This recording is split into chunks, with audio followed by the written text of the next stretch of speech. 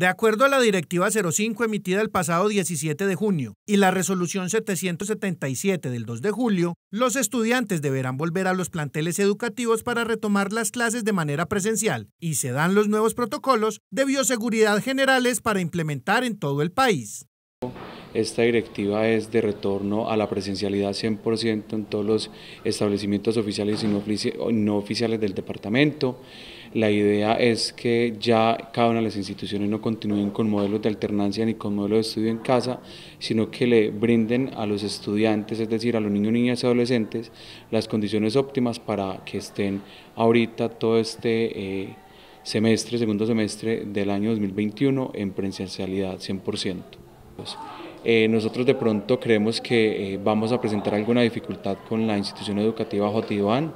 con la Normal Superior Sagrada Familia y con Jaiperá, porque según el número de aforo, pues es decir, los estudiantes, pues serían más o menos de 30 a 40 estudiantes y no tendríamos la capacidad para que todos los estudiantes estén en, en la misma aula.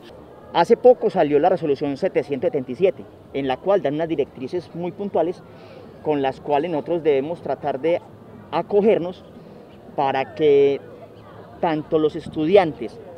como los empleados, llámese docentes, llámese directivos, personal administrativo, incluya hasta los que son por contrato, puedan llegar a las instituciones y prestar efectivamente el servicio educativo a los muchachos. El personal docente y apoyo docente de las instituciones en el municipio está vacunado en un alto porcentaje. La única recomendación que genera traumatismos para el aforo completo de los estudiantes es la separación de un metro a la redonda, pues algunas instituciones no tienen la infraestructura física adecuada y el número de alumnos por grupo es elevado. La resolución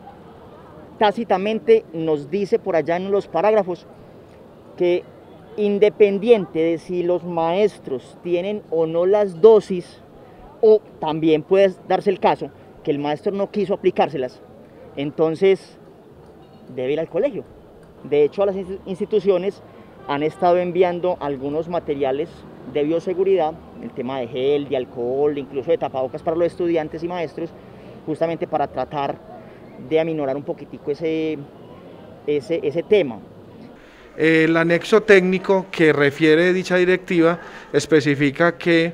tiene que haber un distanciamiento dentro de las aulas de por lo menos un metro de distancia a la redonda. Eso implica que nosotros tenemos que trabajar solo con la mitad de la población. Por ejemplo, en este plantel tenemos 15 grupos, entonces aquí van a venir los 15 grupos, pero solo la mitad de los estudiantes, lo que nos daría más o menos eh, un 50%, que es particular, solo acomodado al tema de la escuela normal. Eso va a implicar, va a implicar entonces unas jornadas que posteriormente eh, se las estaremos informando a todos los, a, nuestro, a nuestra comunidad educativa.